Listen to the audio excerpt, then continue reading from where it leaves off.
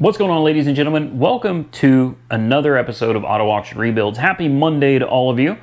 Um, what you don't realize is that for the past five days, I have been moving and cleaning and scrubbing. It has been hard on all of us. Uh, my fiance, my brother, myself, we have all literally been working tirelessly for the past five days. Um, and we are all exhausted. I'm talking four to five hours of sleep a night. This move was very hard on all of us. Um, but I'm happy to say the move is complete.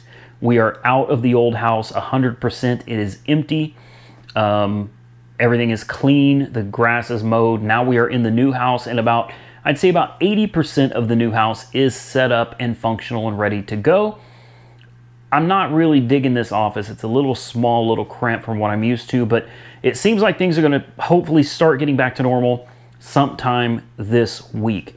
Now, what you guys don't realize is that all the videos that you saw last week, um, those were pre-recorded like a, a, while back. Those videos were, there were videos that I, I, I made and put up in preparation for this move so that you guys would be able to continue having content while I took about five, well, I don't want to say I took five days off. I did not take five days off, but five days to really focus on getting this move done so it would be kind of a seamless transition for all of you. So now moving on to some of the, the business side of things. Um, we sold the Chevy 3500. That's the first thing I want to bring up because that kind of is that's going to kind of lead in to some details that a lot of you are, are concerned with and, and a lot of you have questions about and I'm, I'm here to hopefully try to answer them. I'm always very transparent um, with how this works, especially the finance. I get a lot of people that watch this channel because they want to see how to make money flipping a car. And there's a lot of times you're going to see me lose money on cars. And I think you see where I'm going with the Chevy 3500 here. Uh, brace yourself because um, that one stung. That one stung. Here's the deal. We sold the Chevy 3500. It was a 94 3500 and uh, it wasn't what I thought it was. I should not have bought it. I want to point that out right now. I had a lot of you tell me the minute you saw it, you, you, you guys were on point. You called me out on a BS choice that I made, and it came back to bite me later, as many of you said it would. So I want to acknowledge that, and I want to publicly say that you were right, and I absolutely was wrong. It was a very, very poor decision that I have now paid for.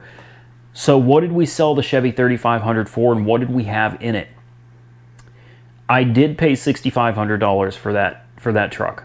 That was ridiculous. That was absolutely stupid on my part.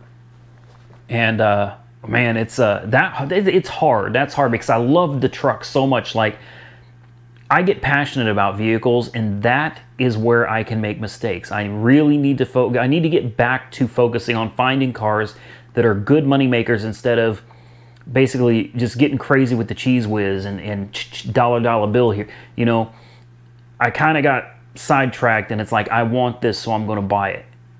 I made a mistake. I hope you guys can forgive me for it. It still brought reasonable content to the channel, um, but it's gone. The truck was not what I was told it was. The truck was not even close to what I was told it was. And uh, that's on me for buying it. It's on me for buying it. I, I kind of do regret it.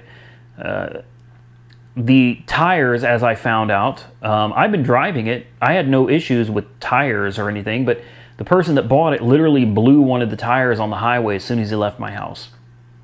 And he told me that after a closer inspection of all six tires, uh, they were all dry rotted badly. Apparently, those tires, although they looked new, those tires were seven years old, and that truck has been sitting for a very long time.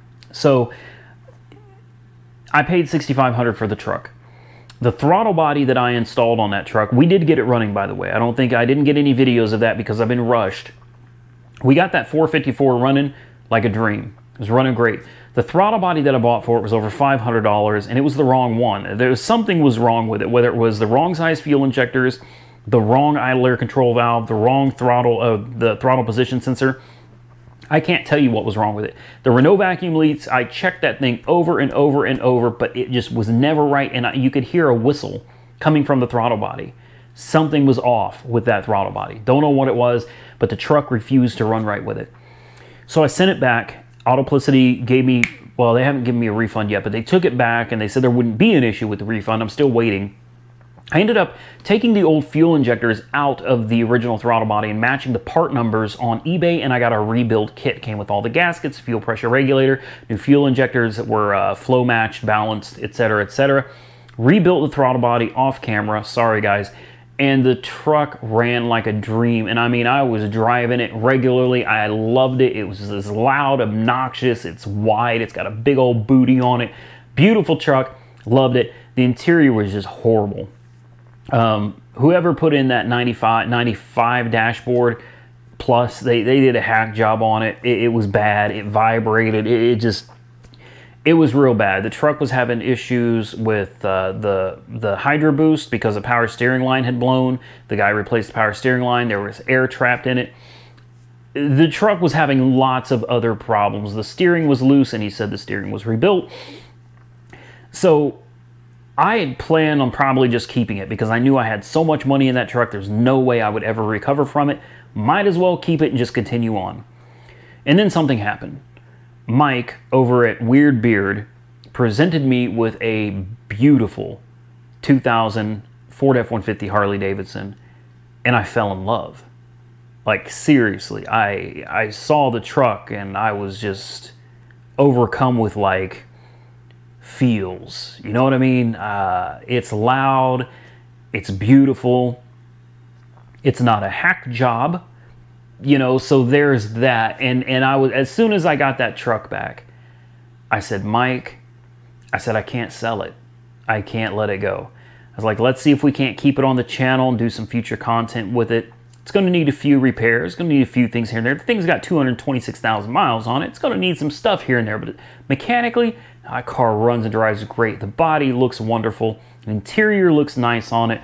So I decided right then and there, especially with all the stuff happening at the shop, and I'll get into some of that too, that it was time to get rid of the 3500 and, and just be done with it. So I listed the 3500 for $5,500 and I knew there was not a snowball's chance in hell that I was going to get 5500 but I thought maybe I'd get 45 maybe 4000 see where I'm going with this?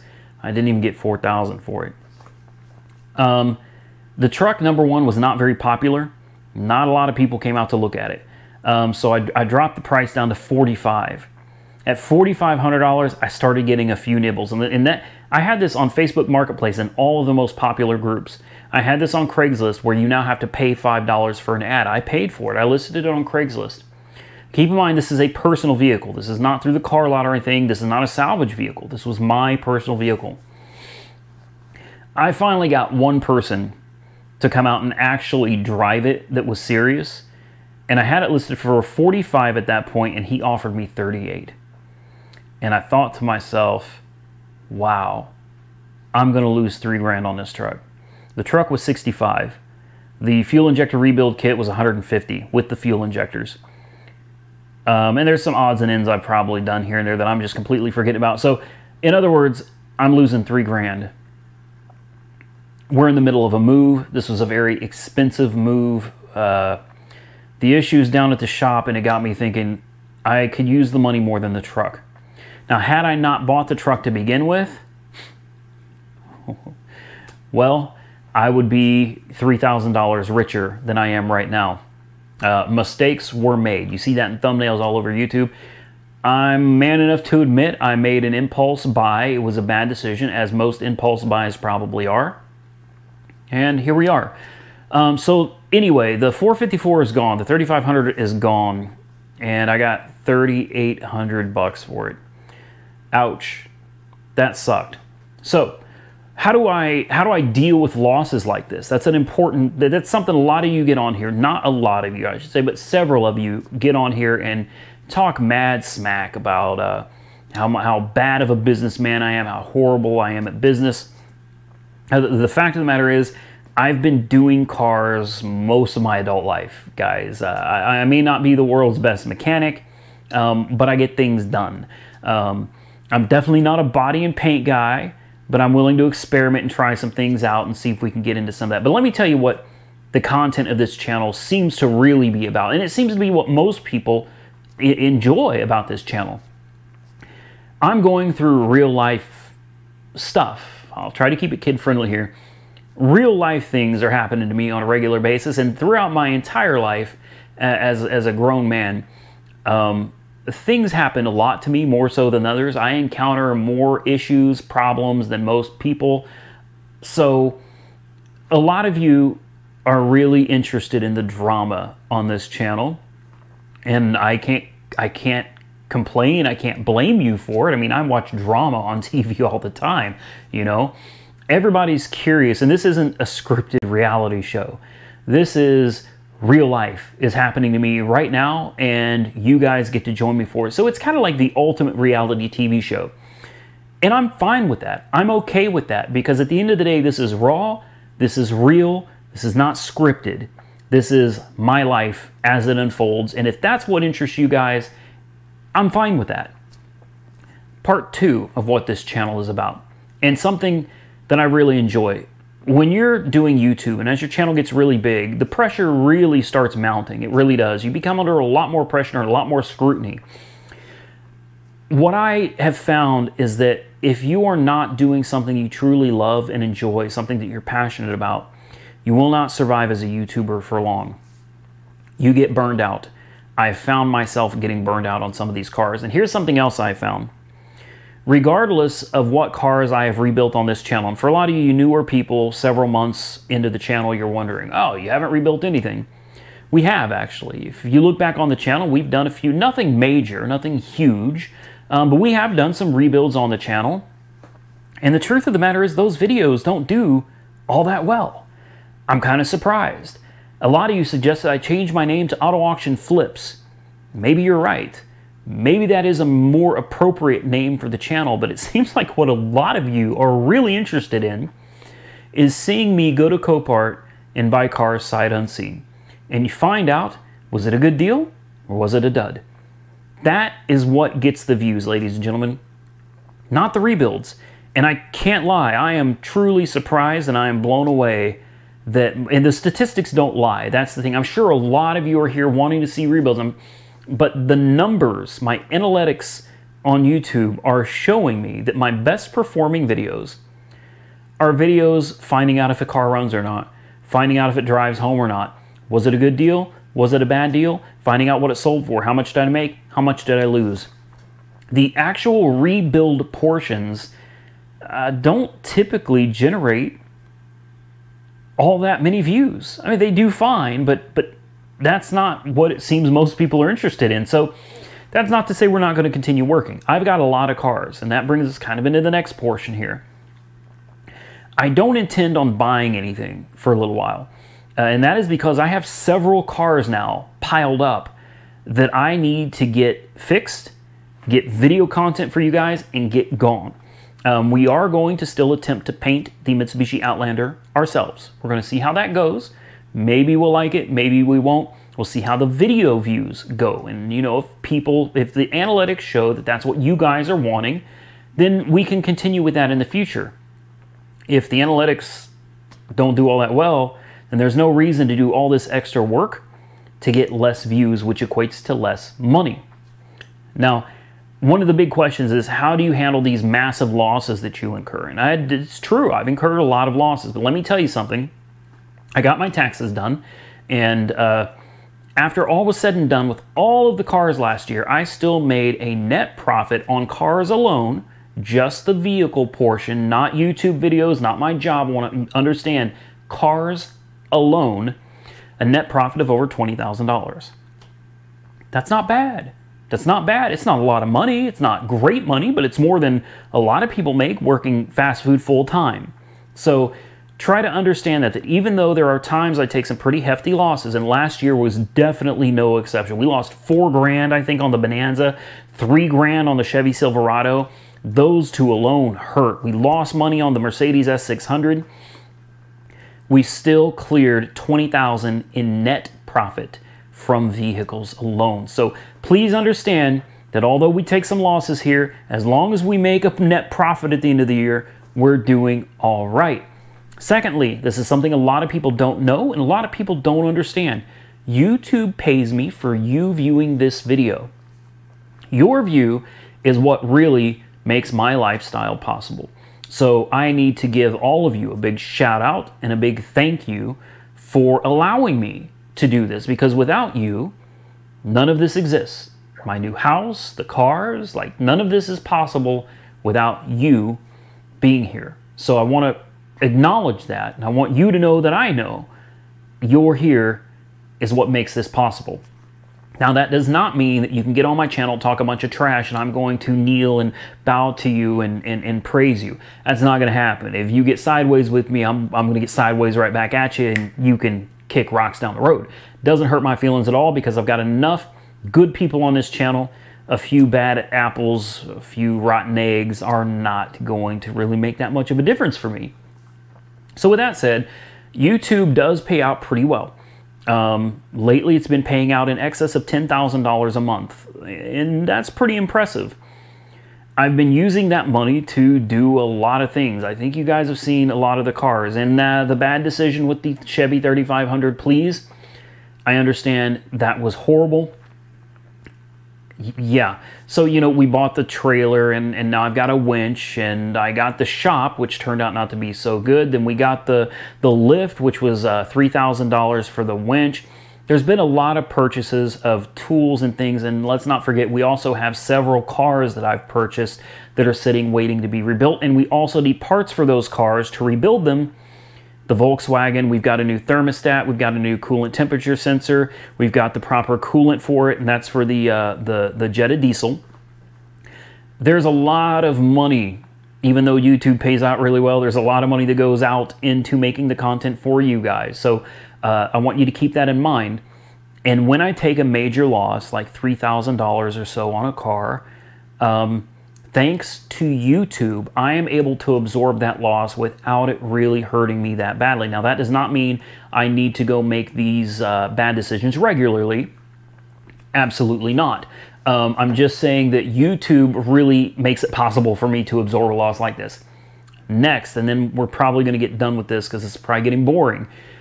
Because this is a business, when I make a decision like that, like buying a $6,500 truck, having about seven grand total in it, and then selling it, losing $3,000, that is a tax deduction. Losses can actually help you. I, I know that doesn't sound right, doesn't make a lot of sense when you first think about it, but when you take a loss, it reduces the amount of money you have to pay in taxes to the IRS at the end of the year. Now, you don't want to make this a habit. You don't want to do this all the time because taking losses all the time, you will find it would have been cheaper to have just paid your taxes. but when you do take a loss, you can at least find some uh, thankfulness, thankful, something. You can find some kind of peace knowing that you just offset your taxes by X amount of dollars. Uh, now, when you take a $3,000 loss, you don't get $3,000 off your taxes. You get a percentage of that off your taxes. So it does help. So I think we are going to stop buying cars for a while. I'm going to do my best. We are keeping the Harley at least for a while. We are going to get the Volkswagen Jetta diesel. We're going to do some work on video on that. We're going to get the, it's already looking a lot better. We're going to get the interior detail. We're going to get the paint job for Maaco to show you what a $300 paint job looks like. Uh, we're going to get the windshield replaced. We're going to see what we can sell it for. See if we can make some money on that car. That car should look pretty clean by the time it's done. I think you're going to be really, really surprised how the Jetta comes out. The Outlander needs that rear control arm replaced. The Outlander is going to have to be painted. You know, we're going to try to do that ourselves, and God, fingers crossed. We're going to see how that goes. Um, and then we got the two darts that we got to complete the engine swap on. And we really need to be getting more into that. Um, so there is a lot of content coming. Some of you asked about the Chevy Cruze. I want to reassure you the Chevy Cruze is actually back on the Turo platform like that. It's making money. The brakes are fine. I've had no issues. The car is doing very well. Um, so I decided to keep the Cruze instead of sell it. And I think, ding dong, that is DoorDash uh, bringing us some, uh, I think it's Ted's Escondido. So perfect timing. Sorry, sidetrack. I hear food. Um, I think that's going to conclude everything that I wanted to talk about. I know this video is boring as all get out. But there are a lot of you that are asking a lot of questions, and instead of sitting there and typing out for 10 hours what's going on, I figured I would make one video, hopefully answering all your questions. We are going to use the Harley Davidson for occasional towing. I've already used it. It seems to be doing all right. Um, I, I put some brand new tires on it today. And what's weird is we put some, uh, the tires on it were 275 55 20s. They were the wrong size. It now has 275 45 20 XLs. And the speedometer is like between 10 and 15 miles an hour off. I think the gears are different in that truck. And that means I'm going to end up having to get a tuner so that I can correct the, uh, the gear ratio. I have to play with it basically to get the speedometer recalibrated. Um, but the Harley truck is doing really well. It looks really, really good. I'm excited to have it back and I'm excited to maybe keep it on the channel and see, we're going to put it to work and we're going to take care of it. And if something breaks, then we're just going to fix it. I really love that truck and I'm going to do my best, crossing my fingers to hold on to that truck because you guys seem to love it so much and I truly do too. So I don't think there's anything else. The C6 Corvette, where I hit it with the Nissan 350Z, we still have not fixed that. I need to order the fender, I need to order the door skin or the door, and we are going to fix the Corvette at some point. I just want to assure you that with everything going on, I'm really busy. Um, the shop, we're not getting rid of it. All the cars are gone from the shop. I moved everything out of there. Everything is in compliance now with Del City, at least as of today. Everything is, is in compliance. We're going to hold on to the shop and we're going to continue working because that's what I do best. And for the rest of you, please drop a comment below. I don't respond to comments very often anymore because there's like 1,500, 2,000 comments each video. I, I can't keep up with that anymore. I'm just one guy trying to do everything. But uh, comment below. I will read your comments. Most likely, I'll read most of the comments. Um, and tell me what you think. You know, what I, I know what the analytics say, but I would really like to see some of you comment below and say, yeah, I watch you for the drama. Or, yeah, I watch you to see if a car you've picked up at Copart was going to be a good deal or a bad deal. And how many of you are actually here to watch rebuilds? Because there's like a million YouTubers out here rebuilding some fantastic cars, and unfortunately, my channel's not even close to being on that level yet neither is my skill set. So we're still a long way from that. But regardless, I want to say this.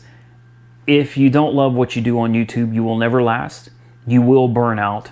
And I can also say that even when you start making really good money on YouTube, which I feel like I'm making really good money right now, you will burn out. You will, and uh, that's a bad thing.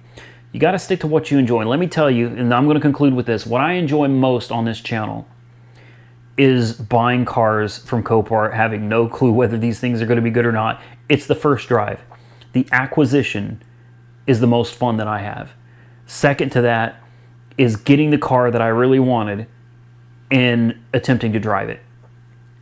After that, I start getting bored.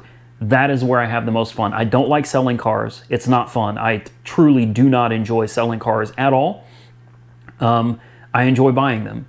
I enjoy driving them and finding out what's wrong with them and what's right with them and sharing it with you. So with that, comment below and tell me what it is you enjoy about the channel because I think what I would like to do is focus more on what my subscribers actually like, what you really enjoy. And if it's the drama and the acquisition and walking around a new car, if that's what you enjoy, we can focus on that instead of me busting my knuckles and cutting my hands up on repairs that y'all aren't even interested in. I gotta admit, how many people are really interested in seeing a motor and transmission swap on a Dodge Dart? That's a lot of work. If, if I could make the same money buying a car at Copart and driving it to the shop, which would you rather do? You know, if, if it was you, would you rather bust your knuckles swapping a motor and transmission, or would you rather just buy a car, drive it to a shop, and call it a day? You know what I mean? Work smart, not hard. So at the end of the day, it's kind of what do you guys want? What is it you want to see? And with that, we're going to get out of here. We are going to do the motor swap on the Dart. That That's just the cars. I got too much money tied up in these cars. We got to get them fixed and we got to sell them because I could use the money to, to do other things. And hopefully, as time goes on, we'll be able to get in some better, more interesting vehicles for you guys. But uh, I really enjoy doing these cars that the average, this is, these is stuff the average Joe can do. The average Joe can't go out and buy a Lamborghini, not even a Copart Lamborghini. You're still talking six figures, guys.